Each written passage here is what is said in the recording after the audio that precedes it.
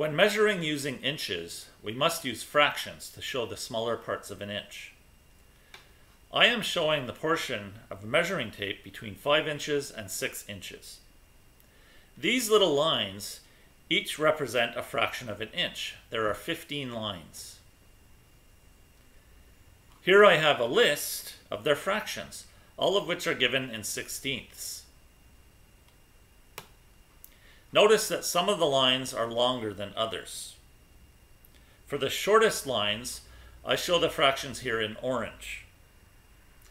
Then, as the lines get longer, I use yellow and blue and pink.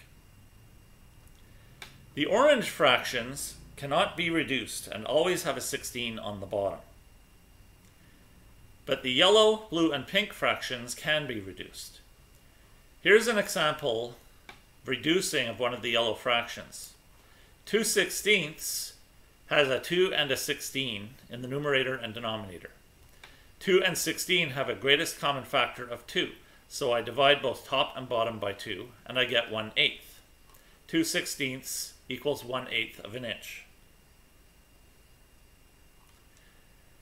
Another example of a yellow fraction is 10 sixteenths. 10 and 16 also have a greatest common factor of 2, so again I divide top and bottom by 2 and I get 5 eighths.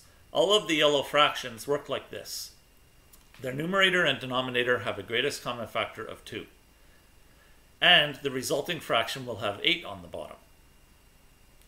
Here's an example of one of the blue fractions. 4 sixteenths. 4 and 16 have a greatest common factor of 4. So I divide top and bottom by 4 and I get 1 quarter. 4 sixteenths of an inch is the same as 1 quarter inch. 12 sixteenths works the same way. The top and bottom have a greatest common factor of 4. So you end up with a fraction with 4 as the denominator. 12 sixteenths is equal to 3 quarters of an inch.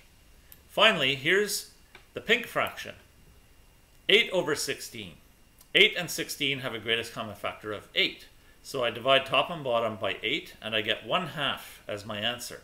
8 sixteenths is equal to 1 half inch.